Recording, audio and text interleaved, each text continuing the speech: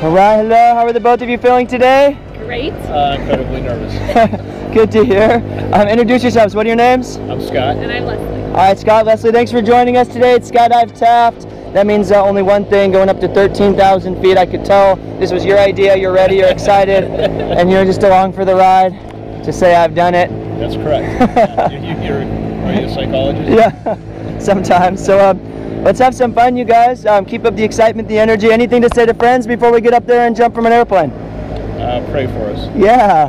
all right. And the odds are in our favor. Let's have some fun, all right? All right, let's Okay. do it, Alex.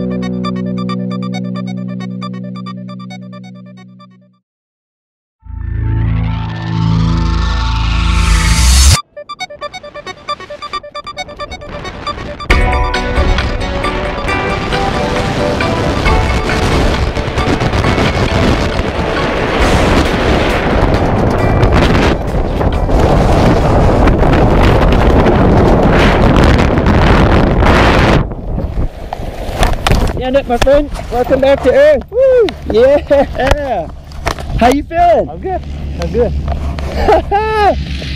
Woo! Hey, that was a blast. Getting You rocked it. Yeah, good job, Thank- Alex. And here she is coming in for landing. Feet up nice and high. Yeah. The both of you, feet on the ground. Leslie Scott, what'd you think? It was amazing. That was fun. That was actually cool. I mean, something you got to experience. So uh, you're Glad to be definitely, alive.